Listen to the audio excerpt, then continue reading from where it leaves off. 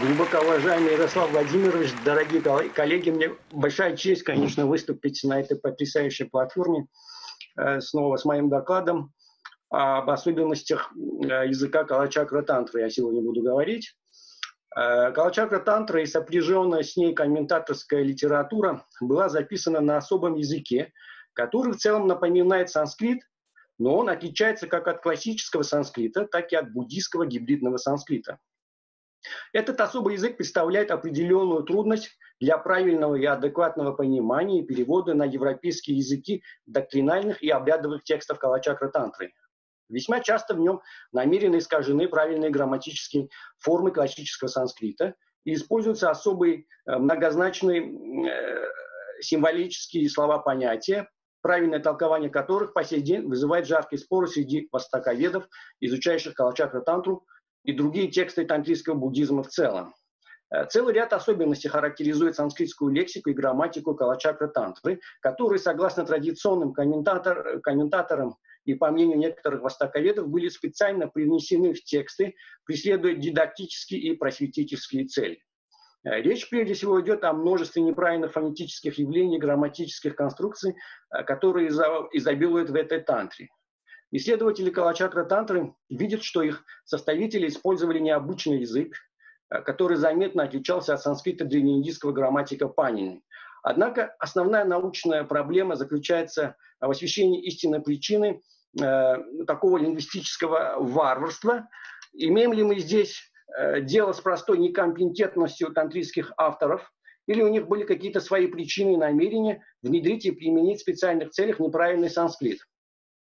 А, весьма любопытен тот факт, что, видимо, для того, чтобы оправдать наличие таких языковых отклонений и применения э, данного э, неправильного э, языка, а также показать на его преимущество, авторы калачакринских текстов дали ему название Сарваджина Пхаша – всеведущий язык. И основную проблему можно сформулировать так. Почему неграмотный язык Калачакра Тантры был назван всеведущим, Сарваджна? Э, под понятием «сарвачна паша» в калачакинской литературе можно понимать не только всеведущий, все учитывающий характер языка калачакра тантры, охватывающего различные языковые аспекты данной тантры, но что еще более важно для буддийского мировоззрения, для его идейного универсализма и прозелитских задач, под этим термином можно понимать также синкретическую природу философского языкового понятийного аппарата этого учения – Синкретизм характеризует эту тантру не только чисто в лингвистическом отношении, но и в доктринальном. Философско-понятийный аппарат этой тантры основан не только на буддийской философии, но использует и часто с, э, позиции буддийского мировоззрения в новом свете освещает также понятия и доктрины ортодоксальных школ индийской философии и религий – санхе, йога, вишнуизм, шиваизм и так далее. К этому можно добавить еще методологический аспект, применение такого необычного языка в качестве искусственного метода или средства Упая Каушаля в дидактических и прозелитских целях обращения в буддийскую веру э, Калачакра Тантры представителей других народностей, конфессий, также школ буддизма. Исходя из вышеизложенного, э, э, постараемся, я буду стараться рассматривать язык Калачакра Тантры с двух ракурсов. Первая особенность языка Калачакра Тантры чисто в лингвистическом отношении, и второе, особенности языка э, Калачакра Тантры в методологическом и дидактическом отношении. А, немного истории. В ранний период формирования буддизма ее основатель Сиддхарта Гаутама в полемике с брахманской ортодоксией провозгласил и сформулировал особый подход к языку, который в ходе дальнейшего развития и становления основанной им э, религиозно-философской традиции претерпел значительные изменения. А, позиция Будды относительно того, каким должен был быть язык буддийского вероучения, изложена в палийском каноне в беседе с Ямилу и э, Стикулой, э, двумя братьями-браминами, которые передавали э, которые предлагали, простите, благословенному записать учение на санскрите. В настоящее время, владыка, различные монахи из разных кланов и социальных слоев, происходящие из разных семей искажают речь просветленного, излагая ее на своем собственном диалекте. Теперь мы, благословены, распространяем речь э, Будды в, в метрической форме. Просветленный владыка упрекая их сказал, заблуждающиеся люди, как вы можете так говорить? Это не приведет к обращению неверующих. А монахи, э, речь просветленного не должна быть преподана э, в метрической форме. Это было бы ошибкой. Я разрешаю вам, монахи, изучать речь просветленного на своих собственных э, диалектах. Э, ну вот э, метрическая форма Чандоса Апорема, конечно, спорный вопрос. Э, известный индолог, будолог Франклин Эджертон полагал, что здесь Чандас и Чандасу Апорема означает не метрическую форму, взамен прозаической, а что под этим термином братья Брамины подразумевали санскрит ведической литературы в целом, от Веда до Упанишат, потому что брахманы и Упанишаты тоже являются чандас, но в отличие от Вед записаны в прозаической форме. Эм, э, существует э, историч... существуют исторические и лингвистические факты, свидетельствующие о том, что буддийские монахи и миссионеры поначалу выполняли это предписание Будды относительно языка учения. Ранние буддийские надписи, например, в Бархуте подтверждают это. Э, где бы в Индии не возникали буддийские общины в тот период, священные, священные изречения Будды передавались на местных среднеиндийских диалектах. Самый наглядный пример, согласно Эйджертону, это паистский канон, который возник где-то в центрально-западной Индии. Однако спустя несколько столетий последователи Будды э, в Индии и в некоторых соседних регионах начали игнорировать это предписание Будды. Они предприняли попытки составить каноны на литературном индийском языке, а не народных диалектах. В Индии санскрит, естественно, имеет особый статус в обществе, и в качестве языка высокой литературы и культуры брахманских кругов он начал оказывать влияние на буддийских соседей. Подобно двум ученым-монахам из рассказа Виная Питаки, более поздние буддийские э, буддисты считали, что было бы достойно подражать брахманам и санскритизировать свои сочинения что было, э, что было бы более достойно. Да. Знаменитый древнеиндийский поэт Ашвагоши был одним из первых, кто отказался писать на народном языке и свои литературные сочинения записал на стандартном санскрите. С другой стороны, некоторые буддийские писатели вместо того, чтобы полностью отказаться от литературного языка, взяли в качестве основы среднеиндийский диалект, на котором были записаны и распространялись буддийские тексты, и частично их санскритизировали. Но насколько несовершенно они это сделали, что лежащий в основе среднеиндийский все еще давал о себе знать. В результате этого искусственного слияния простонародного языка с санскритом возникло то, что Эджертон называл буддийским гибридным санскритом, на котором в течение столетий составлялись большинство северноиндийских буддийских текстов. Лингвисты этот язык часто называли искаженным или просто плохим санскритом. Однако Эджертон отрицает эту точку зрения, утверждая, что это совсем это вовсе не санскрит, а просто-напросто смесь среднеиндийского санскрита. Основой или субстратом этого языка является среднеиндийский, тогда как санскритские элементы только вторично и поверхностно привнесены в этот гибридный язык. Эдитон подчеркивает, что буддийский гибридный санскрит изначально представлял собой или был основан на древнем дохристианском среднеиндийском народном диалекте. То есть он не есть и никогда не был санскритом. Что касается тантрийских текстов буддийской традиции Ваджраяны, нужно иметь в виду, что исторически они были составлены как минимум на трех индийских языках. Это санскрит, апабрамши и восточно-индийский диалект, известный еще как старый бенгальский. Однако большая часть литературы Ваджраяны была написана все-таки на санскрите, который был лингва франка всей индийской культуры. И это неудивительно так как буддийская традиция Ваджраяны, как и весь буддизм в целом распространялся среди разнообразных языковых сообществ, и следовало ожидать, что индийские буддисты Ваджраяны прибегли к универсальному языку просвещенного дискурса, чтобы распространить свои доктрины. То есть можно ли сказать, что авторы текстов Ваджраяны нарушили изначальный завет Будды, э, приводимый в Виная Питаки? Вот вопрос. Э, в калачакринской литературе э, в Калачи украинской литературе встречаем следующее любопытное высказывание. Э, подобно тому, как избранные божества брахманов, вишнуитов, шиваитов, брахма, хари, хара и другие говорят на санскрите, так и наши избранные божества, Будда и Бодхисаттвы, заговорили на санскрите. Это Вимала Прабха, базовый комментарий Калачакра Тантри. Однако, как было отмечено выше, этот санскрит отмечен целым рядом особенностей и большим количеством грамматических отклонений. Э, исследователи текст, текста э, Калачакры Тантры, например, Гофман, описывал язык коренной тантры Калачакры Парама Адибудхи, э, не только писал, что не только написано на буддийском гибридном санскрите, но на очень испорченном варварском санскрите полуиндийского крайне северо-западного региона. Джон Ньюман в своем Buddhist Sanskrit in the Kalachakra Tantra полагает, что существующие грамматические отклонения в санскритской литературе Калачакра Тантры были введены преднамеренно в дидактических и посвятительских целях, а не были результатом простого невежества их авторов.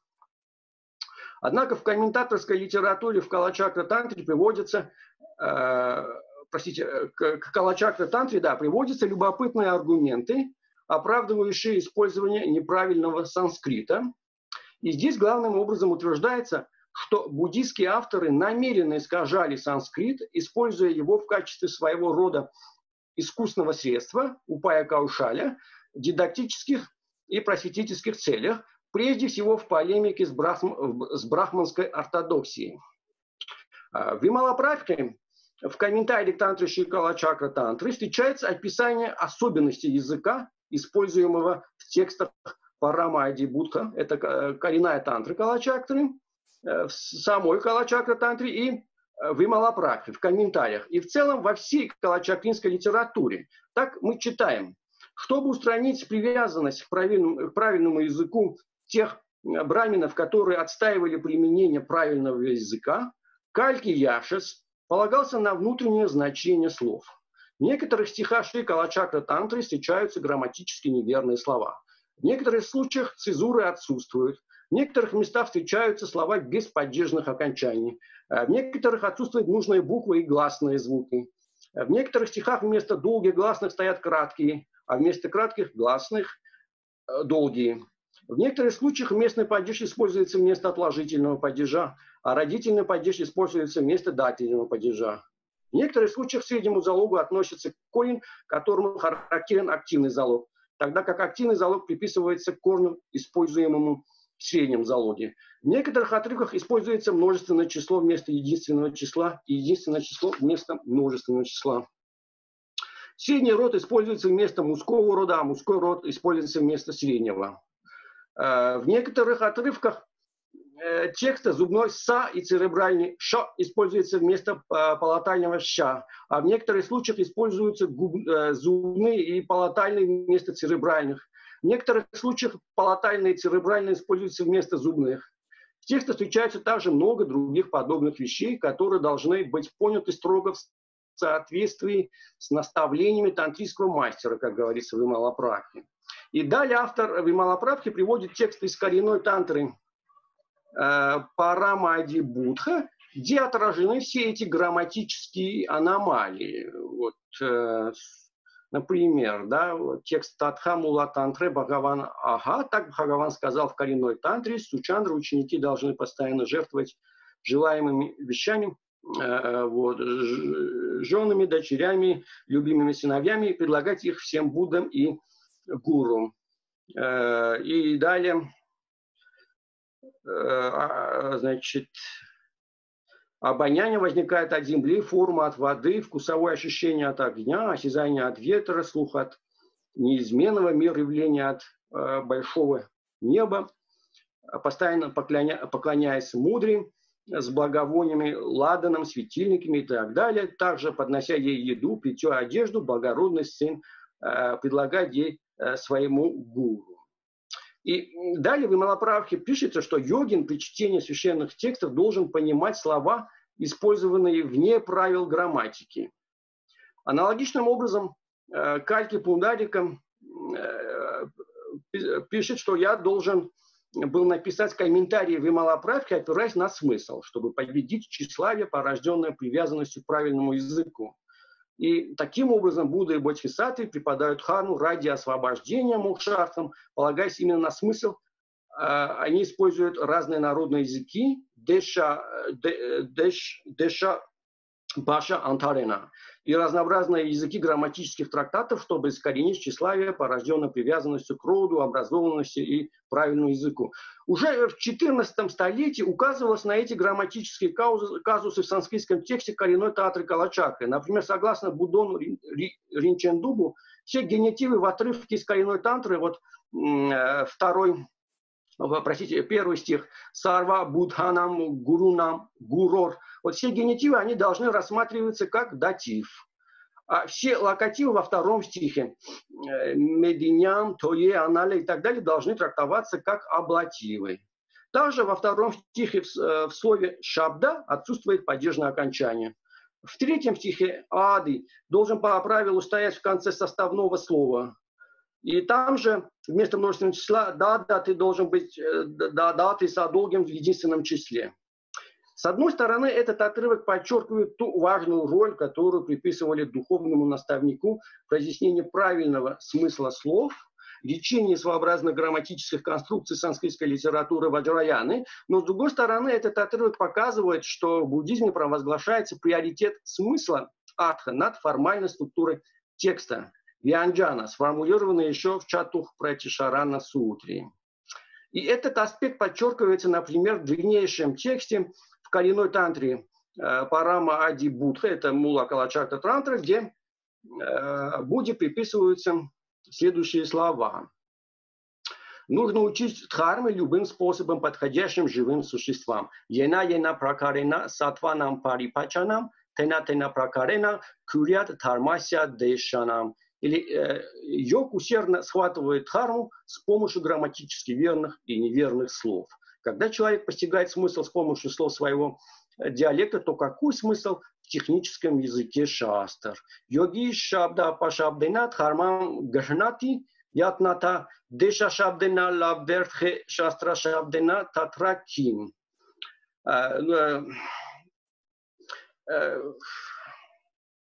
Конечно, с одной стороны, очевидно, что в этом отрывке из коренной тантры Парамати Будха воспроизводится упомянутый завет Будды из палийского канона. Однако, с другой стороны, есть и различия, так как в нем появляется йогин, который, интуити, э, который интуитивно может э, постигать смысл учения поверх всех грамматически верных и неверных изречений санскритских и вернакулярных лексем и понятий. Эм, и, э, конечно, в Калачакре Тантре с одной стороны соблюдается изначальный завет Будды, используются лексические элементы из народов, э, из народных диалектов Дешашабда, и свидетельство этому можно найти, например, в самой Калачакре Тантре. Например, термины Чандоха, Упа Чандоха, Мелапака, Упа Мелапака и другие, которые являются названиями определенных суставов тела и не, име, и не имеют ясных санскритских этимологий. А, а поскольку автор Калачакра Тантры был знаком с аюрведическими медицинскими трактатами, такими как Чарака и Сушрута Самхиты, где используются стандартные санскритские термины для обозначения этих частей тела, то несомненно, что применение этих а, вернакулярных терминов не было случайностью, а соответствовало доктринальной стратегии Калачакра Тантры. А, Ньюман, основываясь на выше цитируемые отрывки, по нашему убеждению справедливо заключает, что нарушение грамматических Э, правил использования вернакулярных лексем являются результатом естественного э, разви- языкового развития из более... Э, не, простите, Юман заключает, что эти грамм, э, отрывки показывают, что здесь у нас э, нет результата естественного развития с более раннего прокрита, но они, видимо, были преднамеренно введены в литературу Калачакры Тантры. Пундарик, автор «Вымалоправки», сообщает, что его отец Кальки Яши специально ввел грамматически некорректные слова в текст Шикалачака Тантры с тем, чтобы устранить привязанность к правильному языку э, э, тех э, мудрецов, которые отстаивали применение правильного языка. Кроме того, неправильный санскрит Вималаправки также призван устранить тщеславие, основанное на употреблении правильного языка. И согласно Ньюману, в текстах Калачакры мы не имеем дела просто с плохим санскритом, так как неправильная грамматика, используемая в Шикалачака Тантре и в МЛ-правке, не является результатом некомпетентности составителей. Авторы этих текстов Яшес и Пундарика демонстрируют огромные знания всего спектра брахманского обучения, включая грамматику, э, просодику и, э, просодию и поэтику. Они составляют правильные, даже элегантные санскритские фразы, когда этого желают. Более того, в Вималапрабхе Пундарик иногда даже указывает на неправильные формы, появляющиеся в Шри Калачакре, и объясняет, чем они отличаются от стандартного использования санскрита. Э, э, конечно, неправильные грамматические формы санскрита ранней литературы Калачакры представляют большие проблемы для текстологов, переводчиков, редакторов. Если бы эти формы использовались регулярно и последовательно, то было бы достаточно просто научиться распознавать и понимать их. Но, к сожалению, это не так, и неправильные формы появляются в стихах и прозаических отрывков, которые обычно в других частях написаны на стандартном санскрите, а иногда нерегулярные формы замаскированы так, что их интерпретация допускает э, различные толкования. И э, важно подчеркнуть, что в таком подходе к языку выражалась также социально-этическая доктрина Калачакры. В калачакринской литературе, литературе, как мы видим, дальше утверждается, что на основе классовых предрассудков в Индии выработалось предвзятое отношение к языкам, восхваление санскрита и пренебрежение локальными языками различных народностей. Э, вот Идея выражена в Вималапрабхе, глава 5, стих 127. Представители традиции хорошо осознавали, в чем теоретические, практические и лингвистические особенности учения Калачакры противоречили культурным, религиозным и социальным нормам господствующей брахманской религии, которая придавала исключительный статус санскриту, э, приписывая ему божественное происхождение. В учении Калачакры эти особенности используемого языка трактуются не только в контексте его прозелитской стратегии и сатериологии, но также в рамках ее социальной доктрины.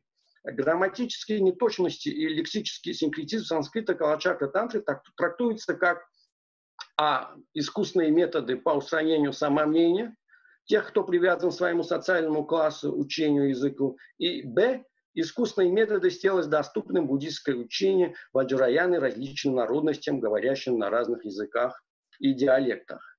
А в Ималаправке, глава 1 стих 1, говорится, что э, утверждается, что люди, обладающие э, ложным чувством идентичности, санскритской митья ахамкара, цепляются за один единственный санскритский язык и учат, как это засвидетельствовано в Махабарате, что даже одно единственное слово – правильно произнесенное, исполняет желание.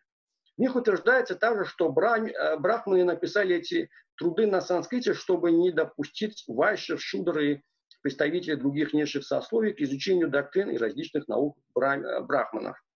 Э, также в Ималапраке подчеркивается, что брахманы хорошо сознают тот факт, что если представители низших сословий обведут эти знания, то больше не станут почитать брахманов за их особые преимущества.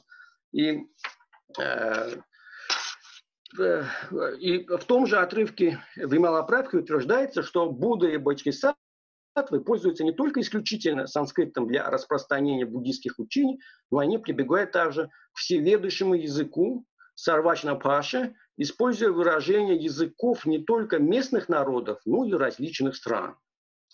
Э, Парама Ади Будха Тантра, простите, я сейчас должен пролистать. Да, вот. Отрывок из Велоправки, глава 1, 5, э, значит... Мы закругляемся, да? Да, да, сейчас, я, сейчас, сейчас уже.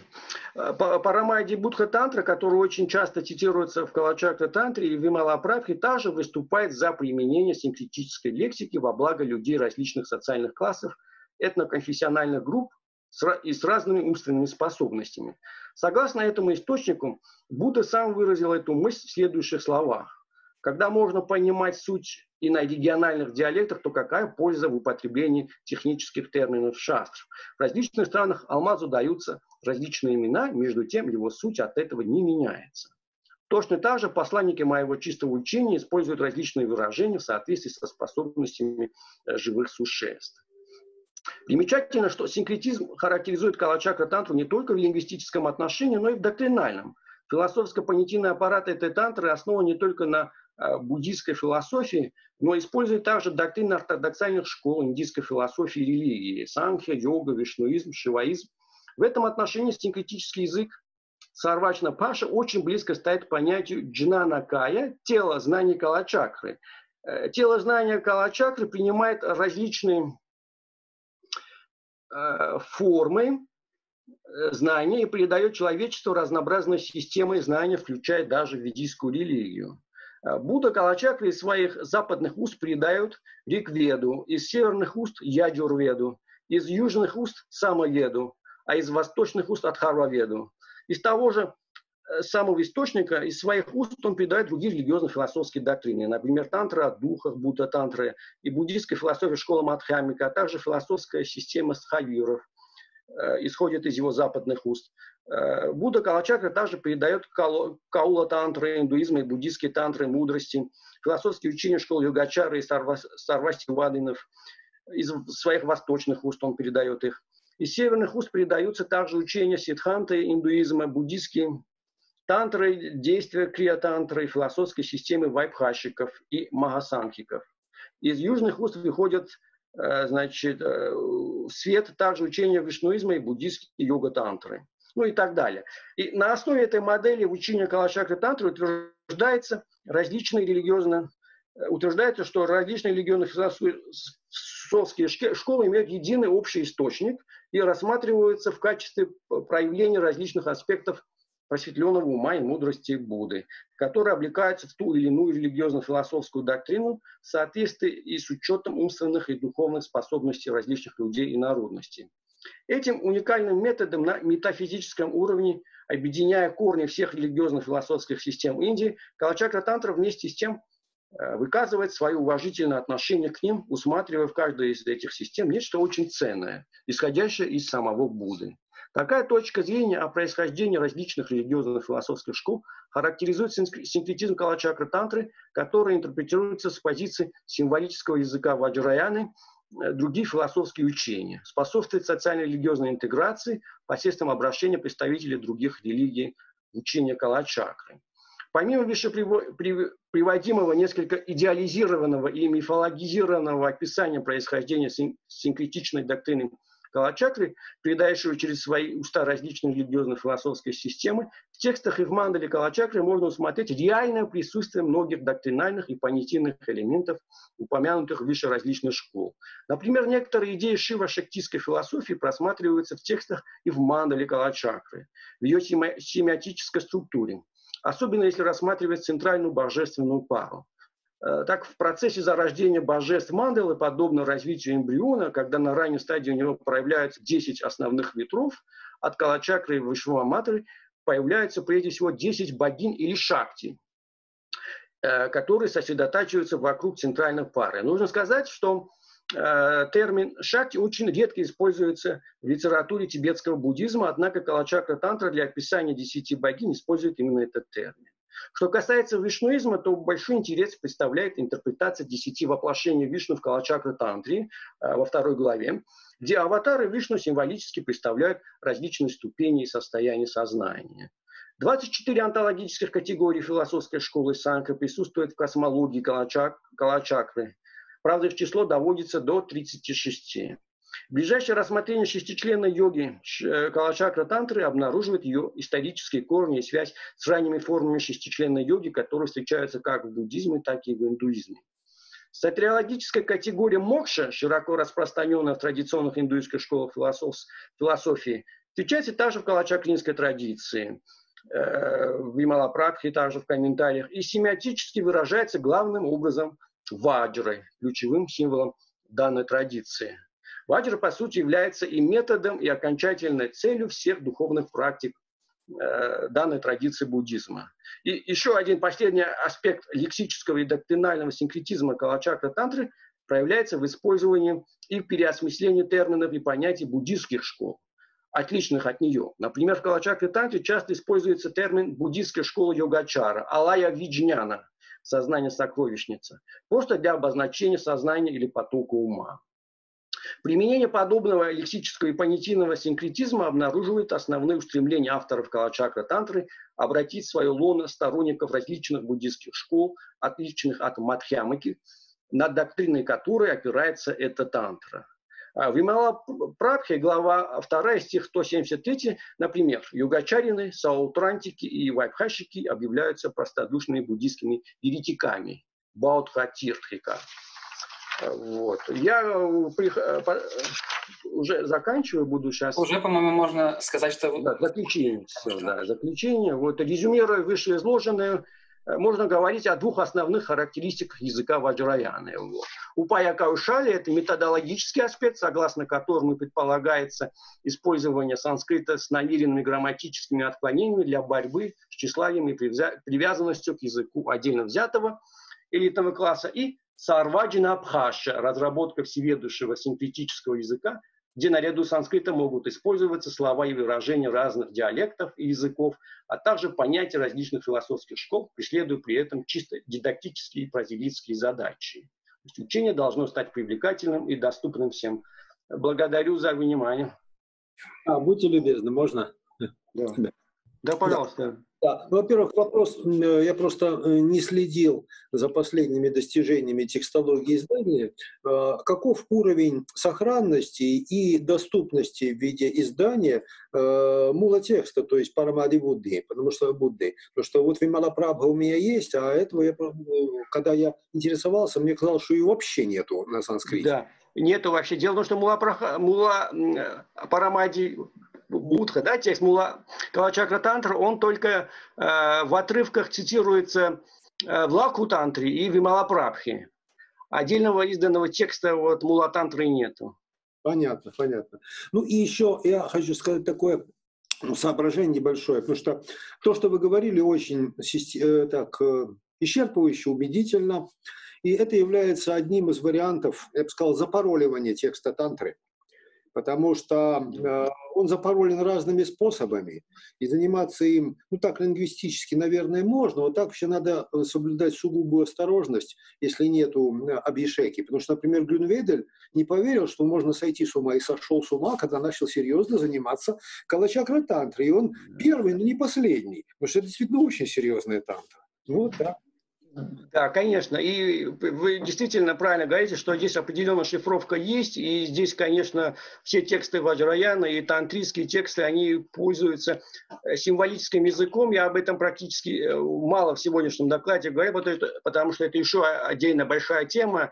Вот говорили, я слушал Олег Ерченков про вот санкета или парибхашита. Здесь в Ваджраяне есть понятие сантхапаши, вот я отдельно это исследую в Хриваджа Тантре встречается символический язык, да, вот семиотический язык Лачакра Тантры, действительно здесь можно говорить об особом таком э, языке символическом, э, который э, так просто не без обхищеки или без таких особых интуиций, да, очень сложно расшифровать и можно искажать или не, недопонимать многие вещи, да. Конечно.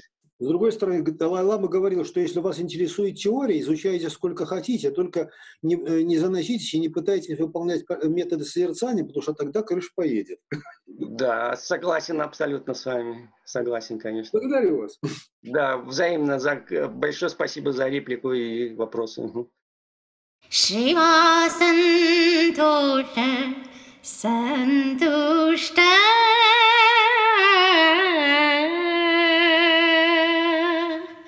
सर्गादेर् हे